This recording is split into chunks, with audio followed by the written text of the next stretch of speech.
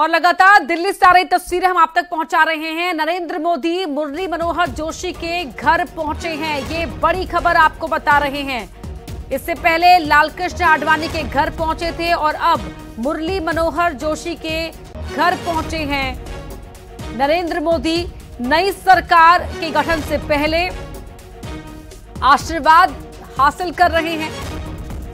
इन वरिष्ठ नेताओं का जो बीजेपी के मार्गदर्शन मंडल में है और इससे पहले भी समय समय पर हर शुभ या बड़े मौके पर नरेंद्र मोदी मिलते रहे हैं।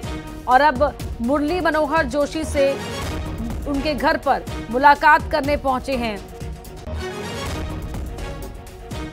नरेंद्र मोदी। इससे पहले की तस्वीरें भी हमने आपको दिखाई। बीजेपी के अध्यक्ष भी रहे हैं। उन्नीस सौ इक्यानवे से तिरानवे के बीच नरेंद्र मोदी और संस्थापक सदस्यों में से एक हैं।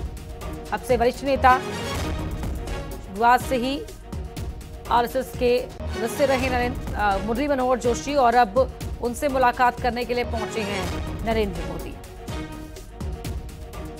तो पहले लालकृष्ण आडवाणी से मिले और अब मुरली मनोहर जोशी से मुलाकात करने पहुँचे।